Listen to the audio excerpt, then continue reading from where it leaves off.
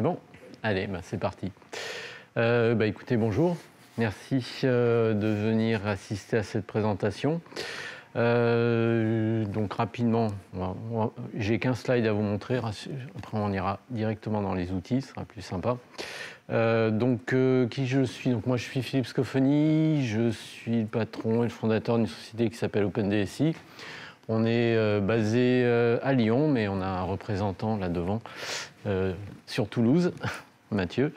Euh, on a une offre, de service qu'on a appelée Isia Solutions qui, euh, met, euh, qui met en œuvre un certain nombre d'outils, alors des logiciels libres et que du logiciel libre bien entendu, principalement Dolibar, hein, c'est 80% de notre activité, donc Dolibar c'est un ERP. Et puis on va aussi faire un peu de, Nextcloud, plutôt avec des collectivités locales, mairies, communautés de communes, etc sur Lyon et, sa région principalement. Autour de, Dolibar, on, va pousser des outils euh, complémentaires, on va dire, euh, bah, parce que Dolibar, ça fait beaucoup de choses. Hein. C'est un logiciel de gestion d'entreprise, de vie, commande, facture. Euh, rapidement, qui connaît Dolibar ici? Ok, que des gens qui connaissent. Non Pas tout le monde, non Non, ok. Bon. Bah, je, je présenterai un petit peu rapidement aussi. Euh, donc Dolibar, c'est un logiciel de la famille des, ERP, alors ERP CRM, donc logiciel de gestion d'entreprise. Euh, historiquement, c'est plutôt un logiciel de gestion, on va dire, plutôt qu'un logiciel de gestion de relations clients. Hein. Euh, ça, bon, il sait, faire, mais c'est pas forcément, on va dire la partie CRM, mais pas forcément sa, grande force, mais c'est plutôt un logiciel de, gestion, clairement. donc tout ce qui va être côté client, devis, commande, expédition, facturation, traitement des gestions de stock, euh, de la fabrication, euh, etc. Côté achat, commande fournisseur, euh, saisie des, factures fournisseurs, suivi des factures fournisseurs, trésorerie, avec tout ce qui est banque, hein, suivi de, ces comptes bancaires. voilà, dans les grandes lignes, hein, ça, fait, ça fait beaucoup de choses. Et puis on a tout un écosystème de modules complémentaires autour de, l'IBAR qui vont lui permettre de venir rajouter des fonctionnalités euh, qui n'existent pas forcément dans le standard dans le cœur de l'outil en standard. Et euh, notamment euh, un gros manque, quelque chose qui a toujours été un peu frustrant dans Dolibar, c'est l'aspect reporting statistique. D'accord, c'est que Dolibar est, bah, on va dire, très pauvre, soyons clairs, très pauvre en stats. voilà, il y a quelques petits écrans, euh, mais qui sont relativement génériques, qui ne sont pas personnalisables ou très peu personnalisables, juste une période. On peut faire très peu de choses clairement dans Dolibar aujourd'hui en matière d'analyse de, données, ce qui fait que bah, on est dans le syndrome souvent avec Dolibar de dire bah ok, je fais un export, j'importe dans un tableur, je remonte des tableaux croisés, machin, et puis bah, chaque fois que je remets à jour mes graphes, je refais un export, je remets dans mes tableaux, je remets etc. Donc ce qui n'est pas forcément très fluide. Euh, et puis, euh, ben, ça reste des, tableurs qu'il faut s'envoyer. Enfin voilà, c'est pas pas très sympa. Et euh, donc ça, on a pas mal étudié un petit peu tout le marché. Alors on voulait un outil qui permette de, coupler, qu'on puisse coupler à Dolibar pour faire cette partie reporting, enfin analyse de, analyse de données. et puis ben, dans notre cahier des charges, l'outil idéal, il y avait quand même un aspect convivialité euh, qui était important, euh, un outil qui soit qui puisse être pris en main assez simplement par des utilisateurs. Alors là, je vais, enfin, sur cette partie-là, il faut, être clair. Hein, y a, on peut, ces outils-là d'analyse de données peuvent s'adresser soit de l'informaticien pur qui va savoir faire de la requête SQL, d'accord, euh, comme à des utilisateurs peut-être avancés, c'est-à-dire qu'un utilisateur qui est à l'aise avec un, un tableur avec euh, des notions de tableau croisé dynamique, etc., va pouvoir, avec l'interface de Metabase, manipuler des données, créer des, tableaux de bord, etc. Hein, mais ça reste quand même euh, des outils qu'il faut utiliser régulièrement. Euh, voilà, on a une catégorie de clients pour qui ben, nous, on va construire les tableaux de bord et leur mettre à disposition, parce que de toute façon, voilà, ils ont, ils ont des besoins à un instant T. Une fois que le tableau de bord est en, est en place, tout ce qui les intéresse, c'est de le consulter, de le regarder, éventuellement de le filtrer, mais, euh, mais pas plus. il, y a, toute une palette de, possibilités, on va voir, dans l'outil d'utilisation. Donc, on voulait un outil open source, bien entendu. Donc, les outils open source, moi, que j'avais vus, souvent étaient je ne sais plus, j'ai entendu ça encore sur des conférences hier. Il paraît que l'interface des outils open source n'est pas très euh, ergonomique, pas très sympa. Bon, bref. Euh, voilà, mais bon, on va voir qu'avec l'outil comme l'outil que je vais vous présenter, Metabase, bah, je trouve que c'est pas très vrai. Je trouve que les outils open source, parfois, ils savent faire des interfaces sympas. Voilà. Euh, voilà, et donc on a retenu effectivement euh, Metabase, qui est un logiciel qui a déjà pas mal d'années d'existence, hein, je crois qu'il existe depuis 6-7 ans. Euh, c'est un produit développé par une, société américaine. Il se développe très très vite. ils ont un cycle de, de, sortie de version qui est assez, assez dense, entre guillemets, hein, et des versions presque tous les mois corrective évolutive. Hein. ils sont, on est vraiment. Euh, euh, voilà, il n'y a pas de roadmap très précis, ça sort un peu quand ça sort, en gros. Euh, voilà. Par contre, l'outil est très simple techniquement à maintenir et, à mettre à jour en termes de, de déploiement. Alors, on va aller basculer sur l'outil en lui-même, que voici. Euh, donc, comment est-ce qu'il est organisé? Alors, déjà par rapport à Dolibar, ou même par rapport à n'importe quel ERP, on peut mettre de l'Odoo euh, ou n'importe quel outil de gestion ou n'importe quelle base de données, Metabase, on va configurer dans Metabase la connexion à une base de données. Alors, dans les bonnes pratiques, je ne vous conseille pas de connecter Metabase à votre base de données de production. Connectez-le pas à votre MySQL de...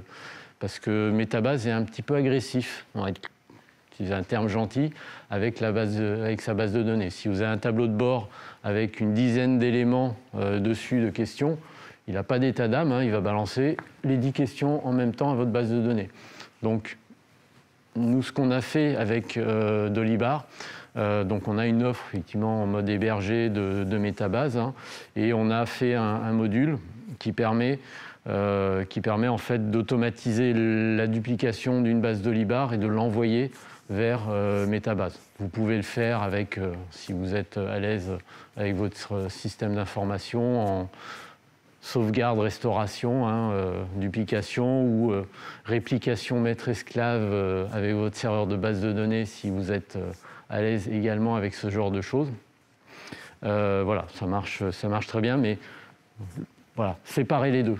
Voilà. Ne, ne, pluguez pas un, métabase euh, sur votre base de données de production, ou alors, sauf si, vous êtes tout seul dessus, bon bah là, euh, c'est pas gênant. Hein.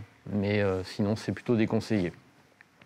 Voilà, donc une fois que ça c'est dit, j'ai ma base de données de Libar qui est connectée à, mon, mon, métabase, et à partir de là, je vais pouvoir commencer à utiliser l'outil.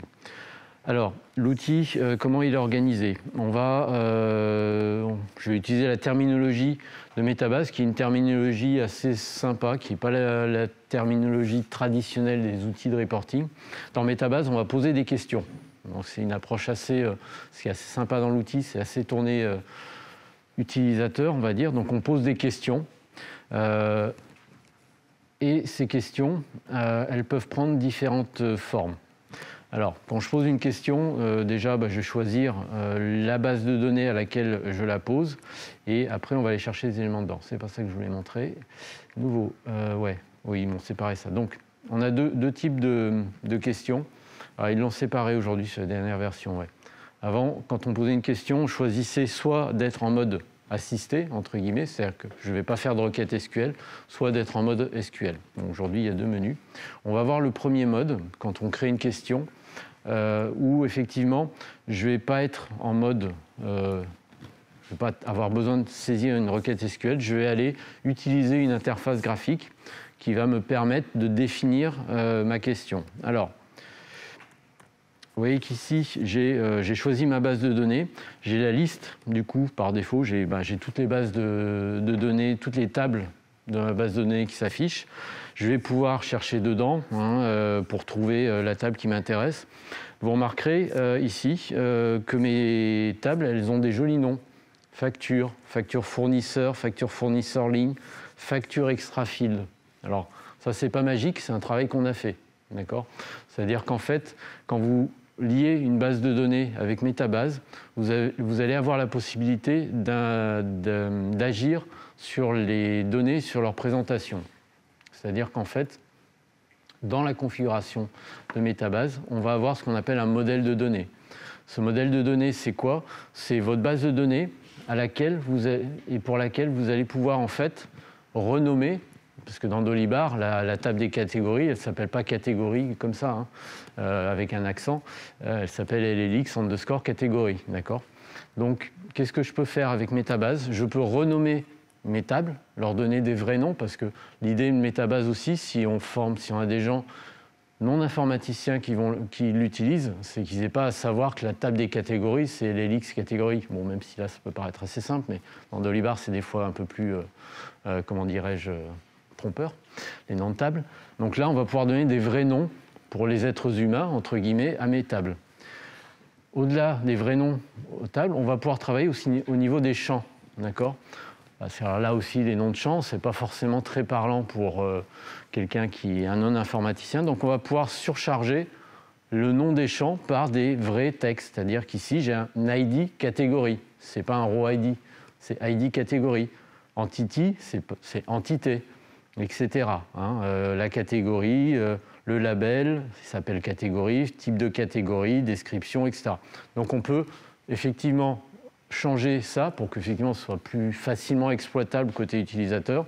Et on va pouvoir aussi typer, du coup, donner une information complémentaire à Metabase pour l'aider à comprendre ce que cette donnée contient.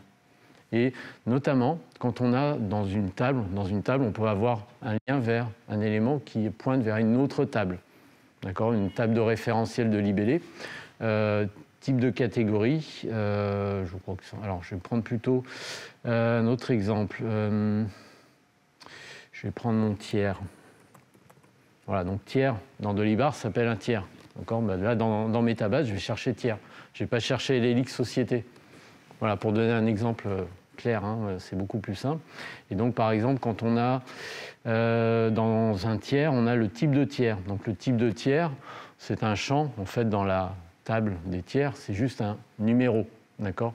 Bon, Pour l'utilisateur, soit l'utilisateur, il faut qu'il sache que 1, c'est les particuliers, 2, c'est les grands comptes, 3, c'est une PME. Bon, ça, c'est pas très sympa. Euh, et cette information, en fait, elle est contenue dans une autre table. Donc, on va pouvoir, au niveau d'un champ, alors que je le retrouve, euh, bah, par exemple, voilà, typiquement les départements. Les départements, c'est simplement un numéro qui est stocké dans la table des tiers. Et là, je vais pouvoir ici, vous voyez ici, indiquer que cette ce champ-là, c'est une clé étrangère. D'accord? Et euh, en paramétrage, je vais venir indiquer quelle est la table correspondant à cette clé étrangère. Et ça, ça va permettre tout simplement, quand on va faire, on va aller faire une, poser une question sur la table des tiers, bah, l'utilisateur tout de suite, il ne va pas voir 69, il va voir Rhône. D'accord? Donc, alors c'est du boulot, mais on l'a fait pour Dolibar. Donc, euh, on peut, comme ça, paramétrer customiser toute la base pour la rendre beaucoup plus facilement utilisable après dans les questions. Donc ce que je montre là pour, pour Dolibar, pour la base de données Dolibar, c'est valable pour n'importe quelle base de données que vous coupleriez avec Metabase. Tant qu'on est dans cet aspect technique, euh, Metabase, donc euh, il sait gérer pas mal de bases de données. Euh, juste rapidement, voilà. Donc on peut avoir du Postgre, du MySQL, du MongoDB, du Presto, du Snow, Fleck, du Spark SQL, du SQL Server, mon Dieu, du SQLite, Amazon Redshift. Enfin, voilà, il y a un certain nombre de bases de données qui sont euh, supportées nativement. Euh, on me l'a déjà demandé une fois, mais non, un tableur n'est pas supporté comme source de données dans, dans Metabase. MariaDB, si, si, c'est MySQL. Pareil, c'est le même, euh, le même pilote. Hein, il n'y a pas de différence. Ce sera MySQL. Ça marche pareil. Voilà. Donc, et donc, je peux avoir plusieurs bases de données dans euh, Metabase. La seule limitation qu'on a actuellement dans ce cas-là, c'est que je ne peux pas poser une question qui porte sur des tables de deux bases de données différentes. D'accord? Donc ça, si on veut le faire, il faudra se créer des vues dans les bases de données pour faire la jointure entre les bases de données. Ça, c'est une petite limitation, un petit peu dommage pour l'instant, mais voilà. Donc, si je reviens sur mes questions du coup, donc je vais prendre ma base de données ici. Si je reprends le cas de mon tiers, donc je vais sélectionner la table des tiers. Donc là, c'est ici, je pars, euh, je suis en mode graphique. Donc je choisis la donnée de base sur laquelle je vais commencer ma question. À ce stade-là, je peux déjà visualiser les données. D'accord? Donc on voit, vous voyez, ici, j'ai voilà, forme juridique, hein. j'ai entreprise à responsabilité euh, limitée. Donc tous les champs comme ça, qui sont en fait des champs liés à d'autres tables, j'en récupère tout de suite, voilà, client, prospect. Alors, on peut même, alors là j'ai ici, on voit c'est en bleu entre guillemets, donc là il va chercher l'information dans une autre table. la notion de client, client, prospect, ni client, etc. dans Dolibar, qui dans la table des tiers est aussi un chiffre, dans le modèle de données, j'ai pu dire cette fois, là, c'est dans le modèle. 1, c'est client. 2, c'est prospect, etc. Hein, donc, on peut aussi, quand on a des données qui ne sont pas des tables liées, expliquer à euh, la métabase quel est le texte correspondant. Voilà, fournisseur, etc. Donc, ça permet voilà, d'avoir déjà euh, une vue assez claire. Donc là, je vois mes données. Ensuite, ensuite on va pouvoir, alors, je verrai après, je reviendrai sur les jointures. On peut à ce niveau-là avoir des colonnes calculées, c'est-à-dire que là je vais pouvoir euh, faire des petites formules de calcul hein, sur mes champs, comme je le ferai euh, dans une.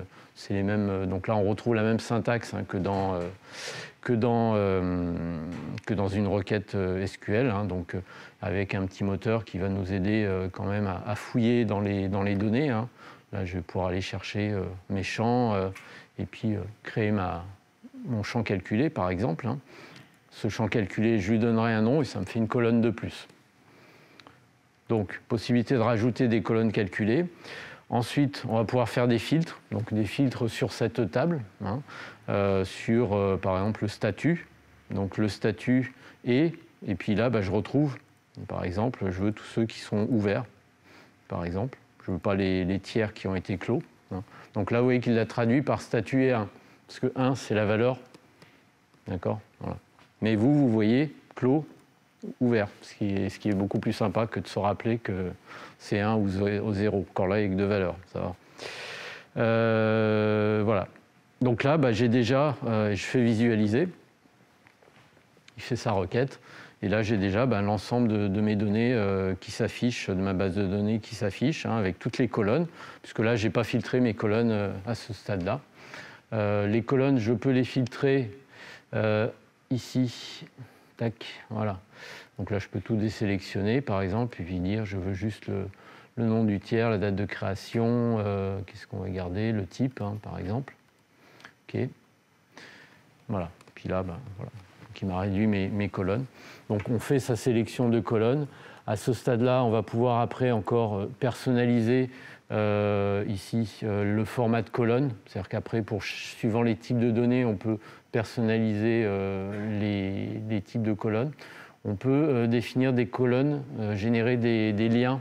Donc ça, c'est assez pratique, notamment avec Dolibar, c'est-à-dire qu'on peut, assez facilement recréer des URL, donc des, colonnes avec des valeurs cliquables dans Metabase, qui renvoient vers une fiche de Dolibar. Hein. Donc il faut reprendre les URL de votre Dolibar et puis, euh, on a un système de, balises, d'accord Ici, qu'on voit, colonne. Donc, je peux insérer, je vais mettre l'URL vers Dolibar, et puis je vais insérer le row ID, enfin la colonne ID, par exemple, ce qui me permet de créer un lien qui renvoie, par exemple, vers euh, une fiche produit, vers la fiche du tiers, vers une commande, vers une facture, euh, etc.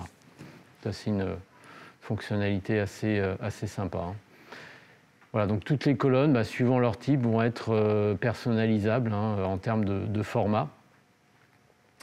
Euh, donc là, on est sur une représentation en mode table. Donc là, j'ai fait une question. Cette question, je peux la sauvegarder. Donc je vais lui donner un nom.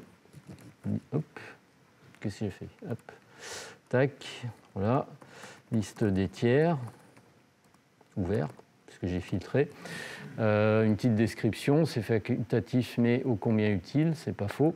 Et puis on va ensuite pouvoir ranger, c'est-à-dire que ces questions, il faut qu'on les mette quelque part, parce que sinon ça va être, euh, au bout d'un moment, on va se retrouver avec une centaine de questions un peu empilées. Donc on va pouvoir créer ce qu'on appelle des collections. Euh, ces collections, bah, c'est une arborescence de dossiers dans lesquels vous allez enregistrer vos questions. Donc là, c'est à vous de voir comment vous voulez enregistrer euh, vos questions. Alors il y, a, la collection personnelle, il n'y a que vous qui voyez les questions qui sont dedans. On verra à la fin, il y a une notion de gestion de droit, bien entendu, sur les collections et sur les tables, qui va permettre après de, bah, personnaliser les accès et de, bah, de, donner accès à certaines données ou pas en fonction des, personnes qui se connectent. Hein. Donc là, euh, je vais aller le mettre par exemple dans Vente. Hein. Alors dans Vente, je peux avoir des, pareil, hein, dans Vente, je peux avoir des sous-dossiers. Je vais le laisser dans Vente, sauvegarder. Euh, j'aurai toujours, quand je crée une question euh, ici, cette petite question, est-ce que je le mets dans un tableau de bord? Je vais dire pas maintenant, on verra après la création d'un tableau de bord. Donc là, j'ai fait une question de type liste. Les questions qui renvoient comme ça des listes, on peut ici, hop, les exporter. Euh, donc on a trois formats, CSV, XLS, c'est des conseillers, et euh, JSON, bon, pour les, pour les développeurs. Euh, donc là, c'est un export manuel, hein, ça vous permet de récupérer en fait le résultat de votre question dans un tableur. On a une petite cloche, ça c'est une petite fonction que j'aime bien, qui permet de, créer des, alertes. Alors, c'est quoi une alerte dans Metabase? C'est tout simplement quand votre question renvoie une valeur, renvoie euh, un résultat, automatiquement, euh, ben, euh, la question va être envoyée à la liste des destinataires et à l'heure, à la date heure que vous aurez définie, à la fréquence que vous aurez définie, va être envoyée. moi, j'aime bien cette fonction-là parce que par exemple, on peut faire des questions pour identifier des anomalies. D'accord? Je prends chez nous par exemple, tous nos devis doivent être attachés à un projet. Donc, quand le commercial oublie de mettre le projet sur le devis, moi, j'aime bien qu'il en soit conscientisé. Donc, j'ai une question qui me sort tous les devis sans projet. Donc, quand cette question-là retourne un résultat, pof, il y a un mail qui part à Joévine qui lui dit Joévine, tu n'as pas, mis, pas mis de projet. Voilà. Hein. Donc, c'est un exemple, ça peut se gérer sur des stocks quand je. Voilà. Tout ce que vous voulez. Là, vous imaginez, l'imagination est au pouvoir. Hein. Voilà, mais c'est assez, euh, sympa. On verra qu'il y a d'autres fonctionnalités aussi d'envoi comme ça de, tableaux de bord de données aux utilisateurs. Donc là, je suis sur une représentation en mode table. Alors, je vais refaire une autre question, alors plutôt avec des chiffres, parce qu'on va voir qu'on peut faire des, représentations en mode, mode euh, graphique, ce qui est souvent la chose que l'on recherche. Donc là, on va aller chercher des factures, parce que là, on va avoir des chiffres. Alors, au passage, sur cet exemple des factures, on va, euh, ici, on va se faire le, graphe classique, chiffre d'affaires par mois. Voilà, pas très. Donc, ça, ça sous-entend de faire un cumul par mois, par période. Donc, on va utiliser du coup les fonctions de résumé, d'accord, sur ma table des factures. Je vais choisir ici la métrique que je veux voir. on va retrouver les sommes de, moyenne de, nombre de valeurs, euh, somme cumulée 2, nombre de cumulés, carte type, minimum 2, etc. Hein. On peut également avoir des expressions personnalisées. Donc là, ça permet de faire des formules un petit peu plus sophistiquées euh, pour des critères de, regroupement un peu plus, euh, des métriques un petit peu plus complexes que les sommes 2, etc. Je vais rester sur du simple. Donc là, je prends je prends la métrique somme 2 et euh, je vais aller chercher du coup le champ sur lequel je veux faire la somme. Donc il me présente que les champs sur lesquels je peux faire une somme. Donc là effectivement des total TVA, total hors taxe. Hein, je vais prendre mon total hors taxe, c'est ce qui m'intéresse. Donc là j'ai fait un résumé euh, du total hors taxe. Donc si je fais visualiser maintenant, je vais avoir en fait euh, le total. Donc là sur depuis le début. Donc je vais retourner alors ici sur mon résumé, puis maintenant je vais aller, en plus de cette métrique, choisir la colonne d'agrégation, c'est-à-dire le critère par lequel je vais regrouper ces données-là. Ce qui m'intéresse ici, ça va être la date de facture. Et vous voyez qu'en fin de ligne, j'ai un petit choix qui me permet de définir la périodicité de ce regroupement. Donc par minute, par heure, par jour, par... Euh, alors c'est en anglais. Suivant les versions, ils oublient des fois de traduire un petit peu. Euh, par mois, par euh, trimestre, par année, ou par, ce qui est intéressant pour certains groupes, par, mois de l'année. D'accord? Je vais faire par mois simplement pour commencer. Voilà, je choisis mon mois. derrière, j'ai à nouveau des fonctionnalités de filtre euh, de, résumés, de tri qui apparaissent, puisque sur ce regroupement, je vais pouvoir éventuellement trier. Si je veux me faire le top 10 de mes ventes clients, d'accord, je vais pouvoir trier par montant, par euh, cumul. D'accord Donc là, je fais visualiser. Et là, effectivement, bah, de base, il me propose effectivement un graphique. Alors si je me remets en mode données, hein, on voit bien ici, mois par mois, la somme de mon chiffre d'affaires qui s'affiche.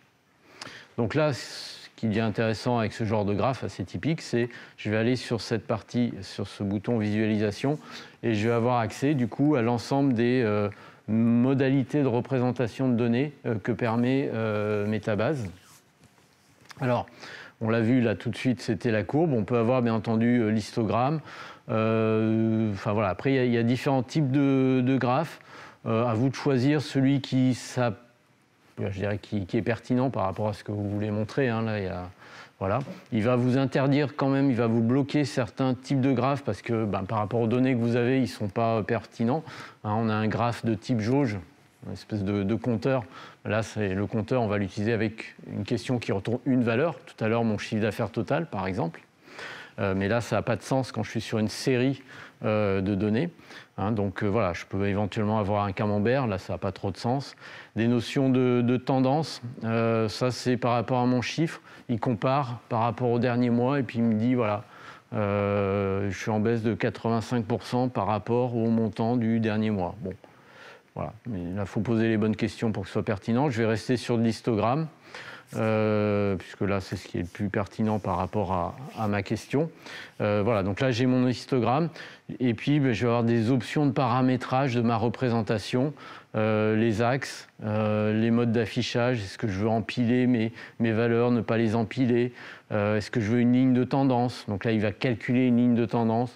Est-ce que je veux afficher les valeurs, par exemple, si je lui fais afficher les valeurs sur chacun de mes histogrammes euh, Voilà, valeurs affichées autant que possible, tout, formatage euh, compact. Bon, voilà, il y, a tout un tas de paramètres pour jouer avec la mise en forme du graphe, les couleurs, presque toutes les couleurs, parce qu'on peut. Ah, ils ont agrandi la palette, ça c'est magique. On avait que 9 couleurs avant. J'ai mis à jour vendredi avant de partir, j'avais pas vu. Voilà, on a beaucoup plus de couleurs maintenant. Euh, voilà, je peux mettre des lignes, euh, des graphes. Bon, voilà, après on joue. Après, c'est, peut passer beaucoup de temps à s'amuser avec, euh, avec l'outil. les libellés, les données, voilà, le formatage de mes données. Et puis, bah, quand ça c'est fait, pareil, je sauvegarde ma question, je lui donne un nom, CA par mois. Voilà. Je l'enregistre dans une collection, vente, je sauvegarde.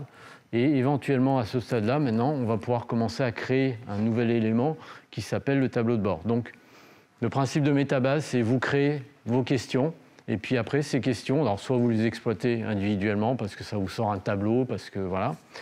Euh, dans, la dans, les capacités, quand vous faites un résumé qui a plusieurs colonnes d'agrégation, euh, Metabase a un mode de représentation de tableau croisé. Il sait faire des tableaux croisés, qui est assez, euh, assez, euh, assez intéressant. Hein.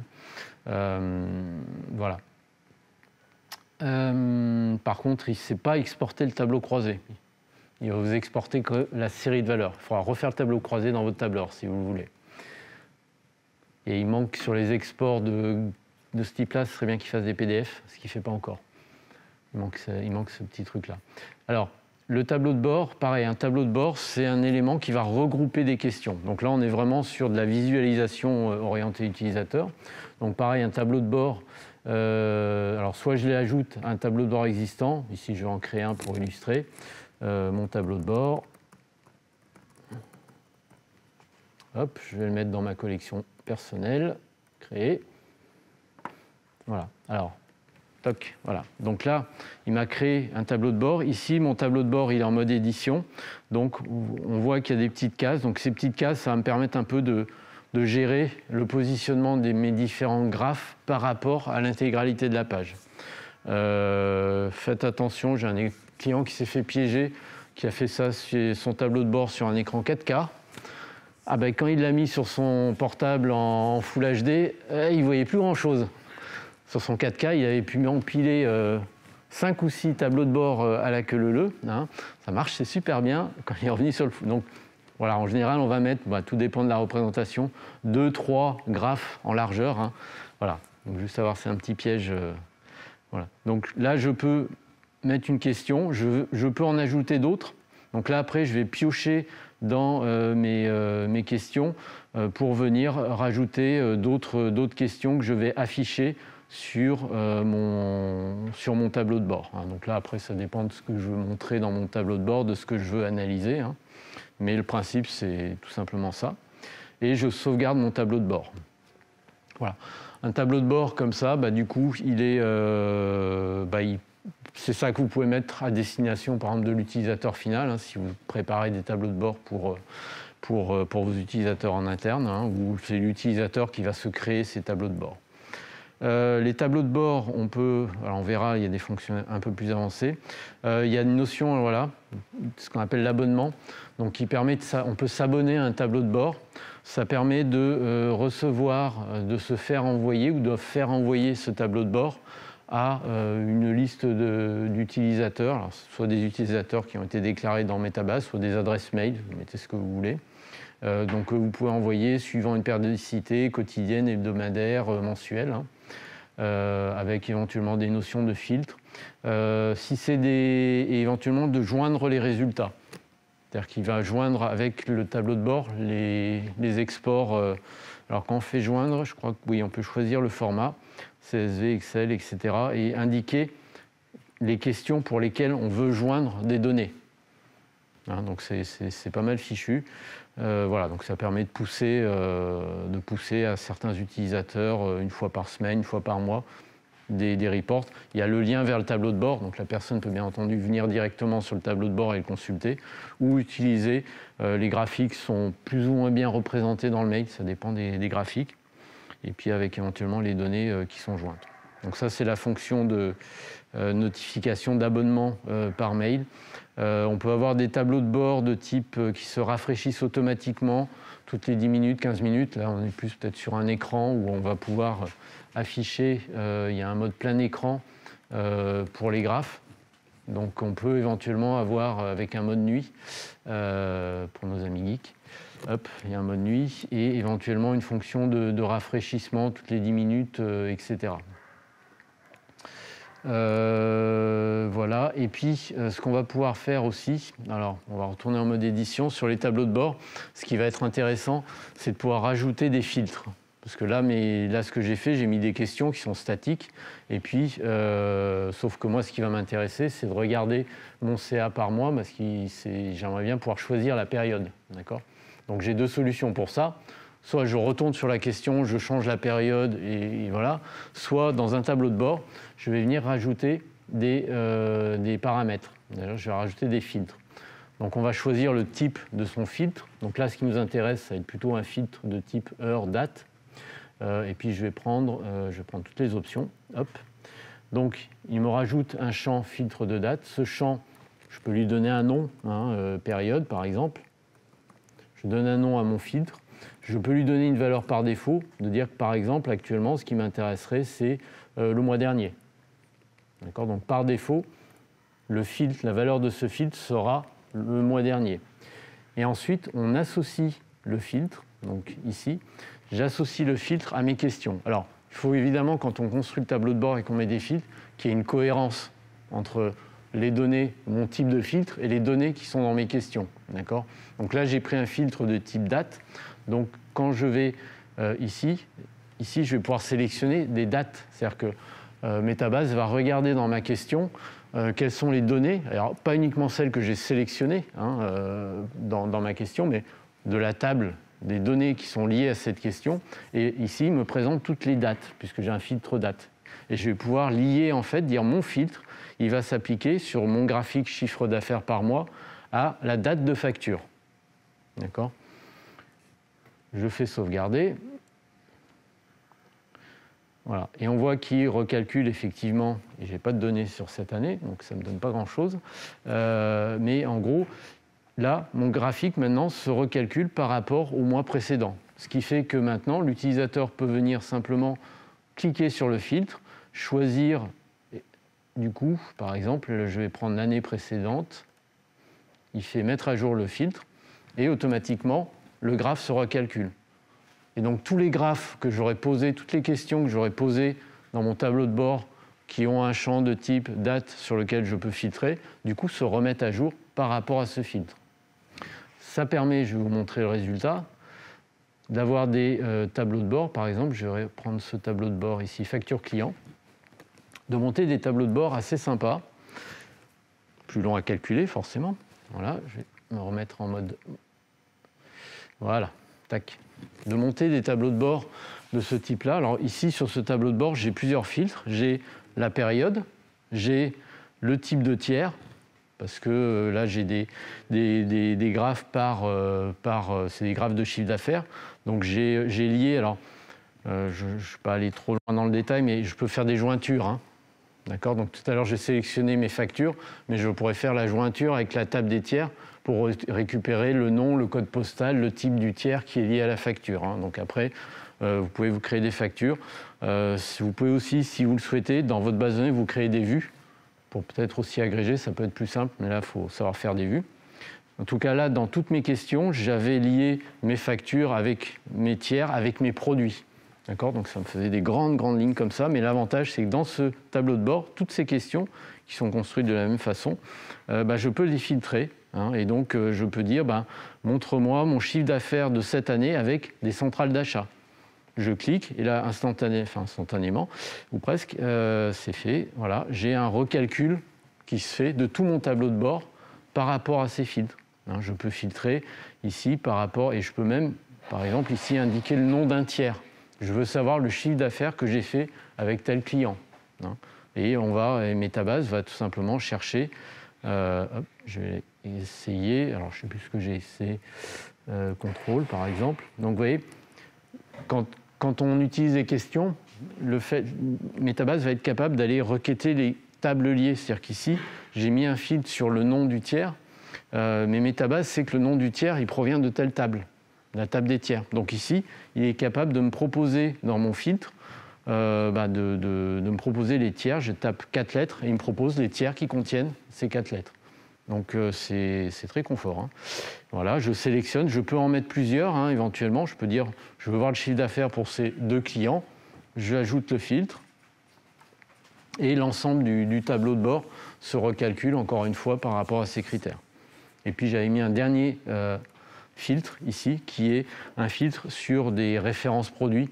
Combien j'ai vendu de produits, tel produit, à mon client. Donc vous voyez qu'avec un tableau de bord et des filtres et des questions bien construites, en fait, on arrive à répondre à un nombre de questions qui sont assez euh, importantes. Ça, avec de l'IBAR, vous n'y arrivez pas comme ça. Là, c'est clair qu'il vous faut Metabase. Mais euh, voilà, donc là, la construction des tableaux de bord, hein, ça demande un peu de, il faut quand même se poser un peu en amont, quelles questions je vais avoir besoin, quelles données, comment je vais pouvoir les filtrer. Et après, ça permet effectivement de faire des choses comme ça assez, euh, assez sympathiques. Euh, sur les tableaux de bord, on a encore une fonctionnalité, alors je ne l'ai pas ici, euh, on va dire démontrable, mais on a la possibilité aussi d'avoir des actions. Alors ici, j'ai un camembert. sur un camembert, par exemple, on va pouvoir alors, euh, euh, type de tiers. Ici, voilà. Alors, comportement du clic. C'est-à-dire qu'en fait, je vais pouvoir définir qu'est-ce qui se passe si l'utilisateur clique sur mon camembert.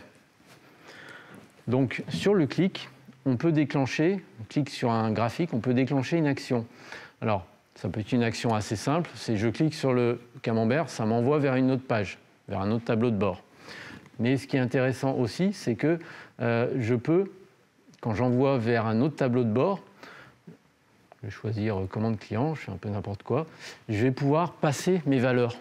C'est-à-dire que je suis dans mon camembert, admettons, j'ai quatre tranches, je vais pouvoir passer la valeur sur laquelle j'ai cliqué de ma tranche. D'accord?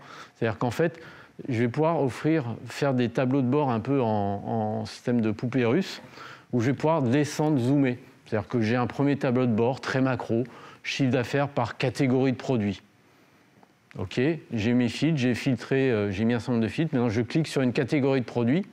Et là, je vais aller sur un autre tableau de bord où j'ai une vue produit détaillée, très détaillée, par produit, par machin, etc.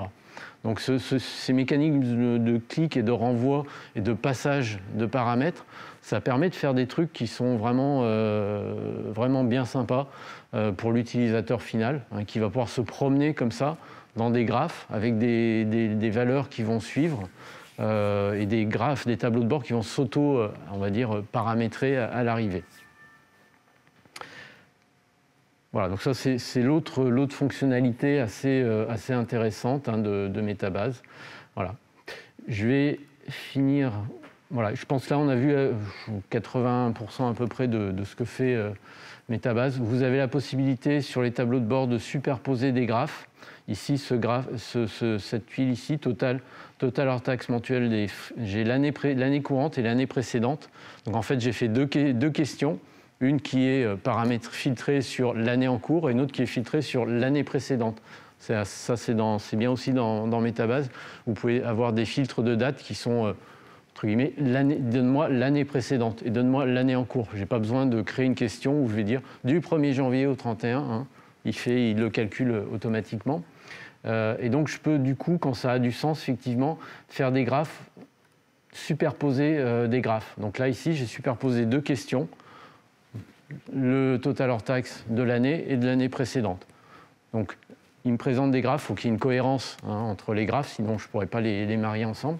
Mais là, je, viens cocher voilà, que j'ajoute le, graphe de l'année en cours et je viens lui dire superpose-moi aussi le même graphe pour l'année précédente. Et automatiquement, euh, c'est lui qui va me faire le graphe avec les, colonnes hein, qui sont, euh, euh, bah, ma foi, en, parallèle, qui me permet de comparer mon chiffre d'affaires d'une année sur l'autre. Hein.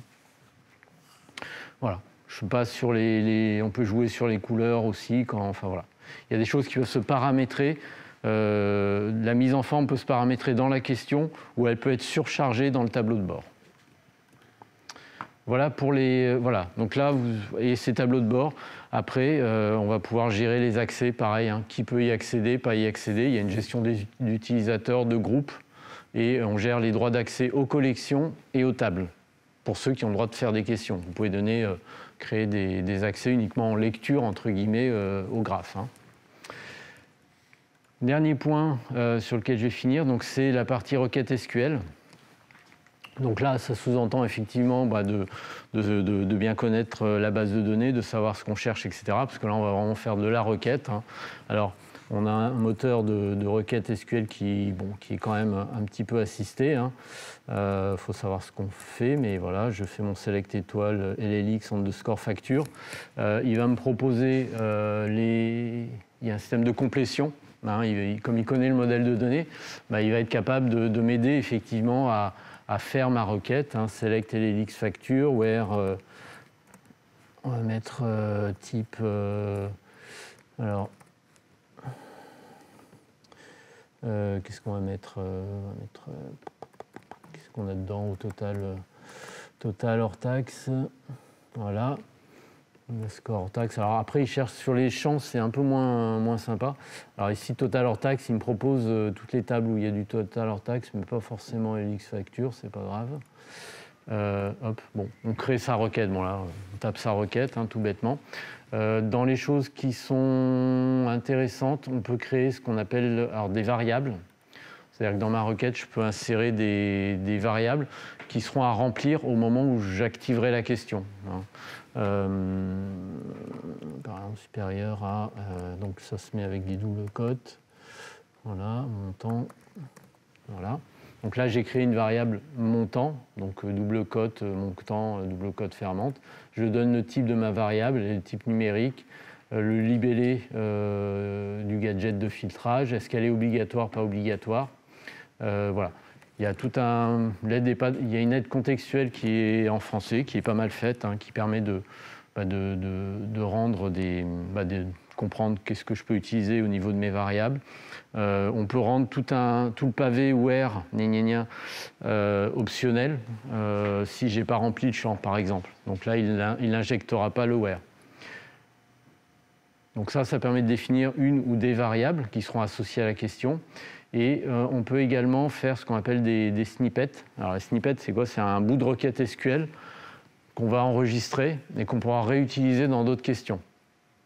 Ça, c'est le truc, vous avez fait avez une requête avec une sous-requête bien compliquée que vous êtes faite, que vous utilisez à plusieurs endroits, plutôt que de la copier-coller X fois, et puis quand vous irez euh, la mettre à jour, de la mettre à jour dans toutes les questions, et puis d'oublier la question euh, qu'il ne fallait pas oublier.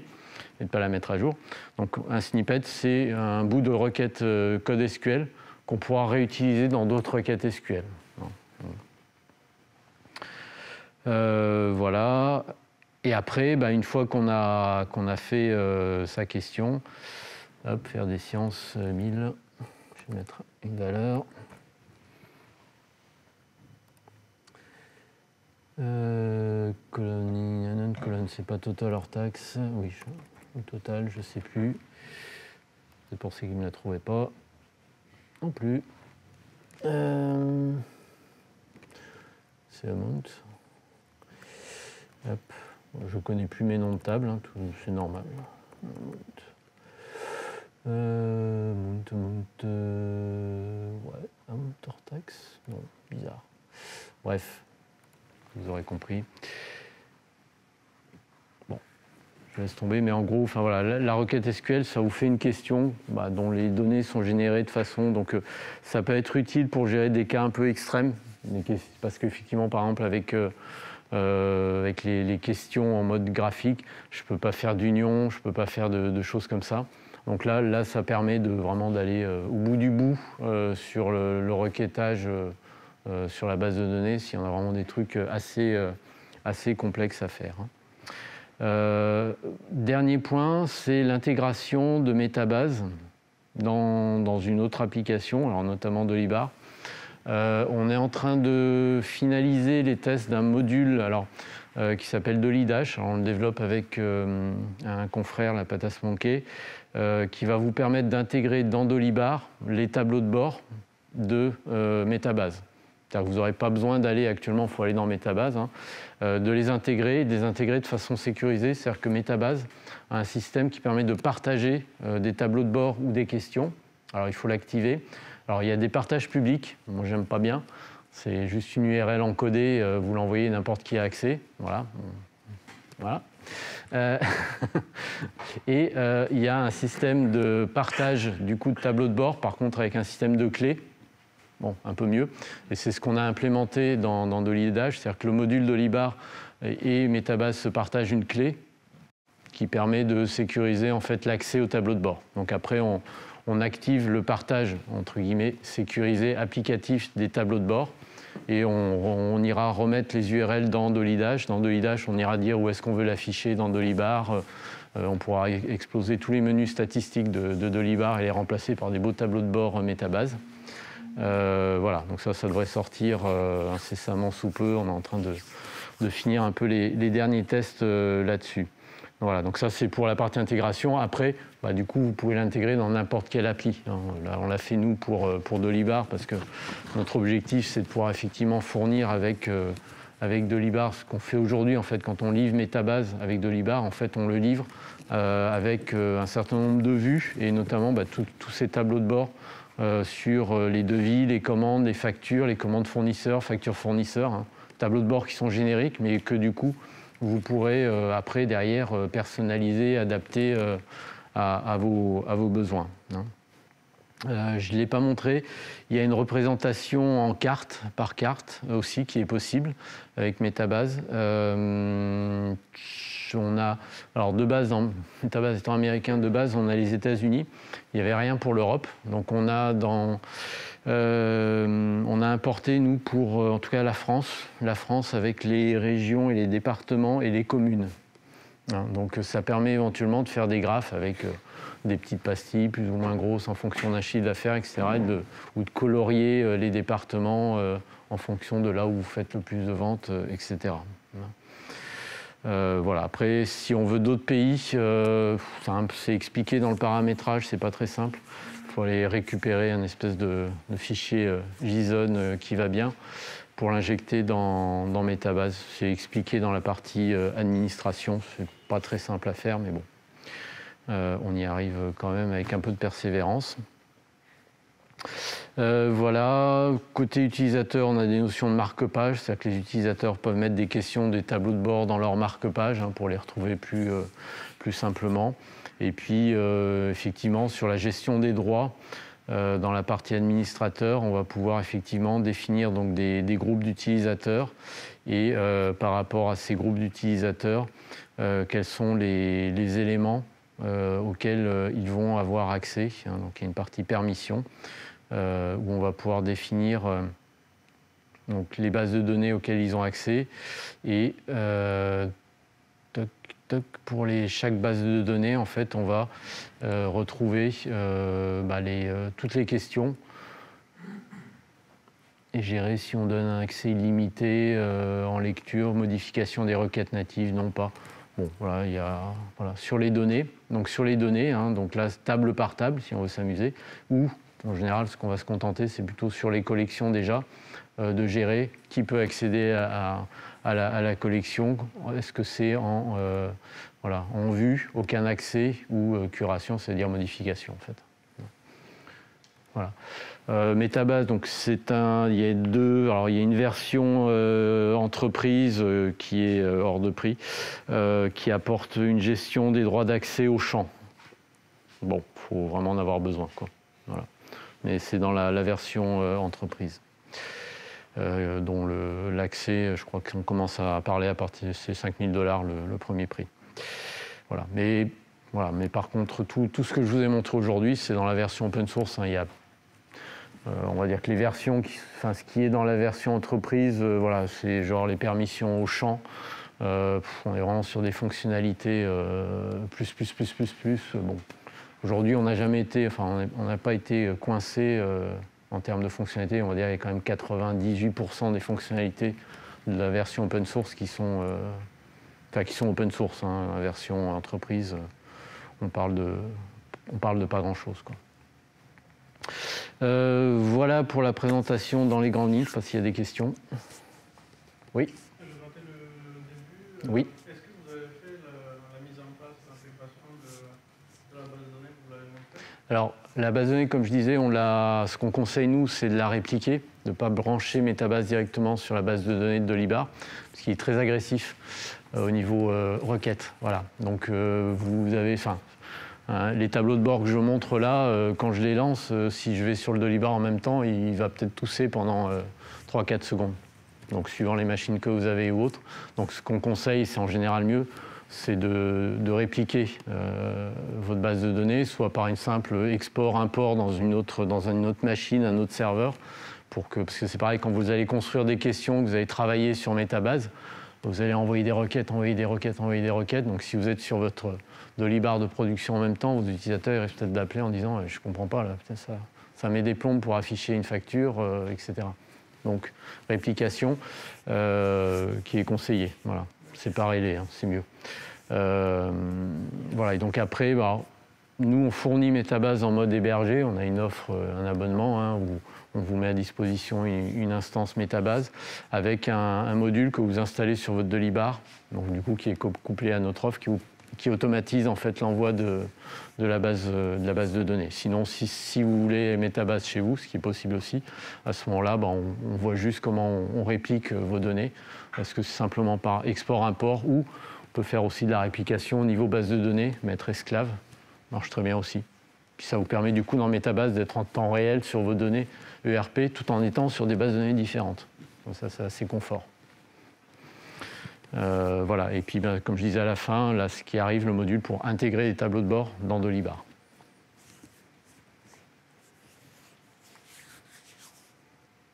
Est-ce qu'il y a d'autres questions? Il y a une communauté? Il y a une communauté, alors en France, euh, pas, pas, une grande. On doit être peut-être un peu les seuls à utiliser Metabase aujourd'hui. Euh, aux États-Unis, oui, oui, il y a du monde. Hein. C'est gros. Hein. Il y a, En dehors de l'entreprise qui développe vraiment Alors, en dehors de l'entreprise, non, on est sur un modèle éditeur. Hein. donc, euh, on est sur un modèle éditeur, tout est sur GitHub. vous pouvez faire des PR si vous voulez, c'est du Java. Bon, voilà, bon quoi on ne sait pas faire. Euh, mais euh, c'est ouvert. Hein. Après, euh. Après, je n'ai pas trop regardé, mais enfin, je, suis, voilà, on est sur des modèles type Nextcloud. voilà, c'est l'éditeur qui va pousser 90-95% du code, hein, en gros. Hmm. Après, pour l'instant, en tout cas, sur le code qui est en open source par rapport à la version entreprise, il n'y a pas pas de gros écarts. Alors sur des fonctions vraiment high level, bon, voilà. Oui, oui, s'il existe déjà depuis 7-8 euh, ans. Donc voilà. Et c'est un produit qui est très répandu de l'autre côté de l'Atlantique. Un, peu moins, en Europe, qui moins connu. Mais qui est accessoirement bien traduit en français. Là, j'ai eu quelques glitches. J'ai l'impression que quand ils font des mises à jour, des fois, il y a des trucs qui sautent, mais globalement, il est très bien traduit en français.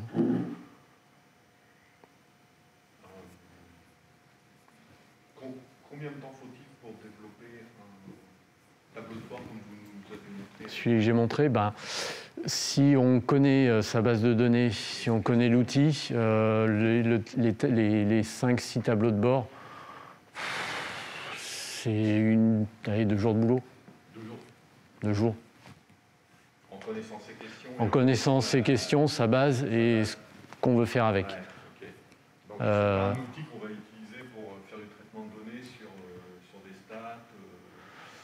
Bah,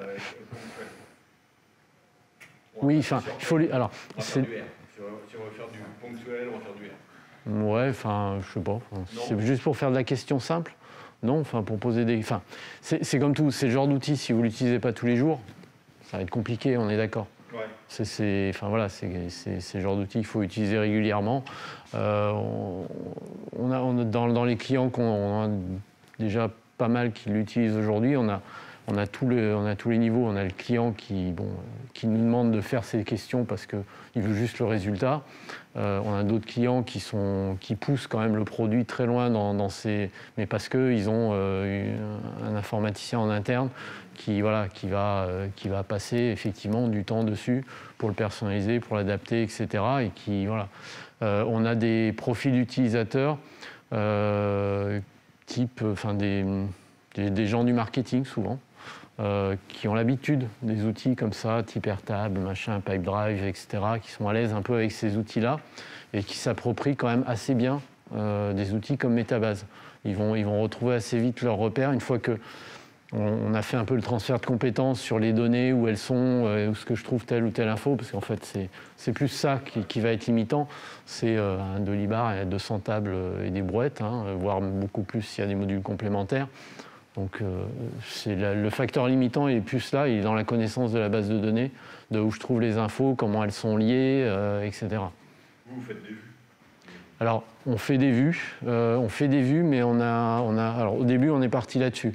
C'est-à-dire qu'on a dit, on va faire des vues avec 400 champs dedans, et puis au moins il y a tout, tout est à plat, les commandes, les trucs. Donc ça, c'est une façon de travailler qui est un peu, on, a, on un peu rétro-pédalé parce qu'on a vu que les utilisateurs, quand ils ouvraient ces vues avec les 400 champs, ah, ah je prends quoi dedans?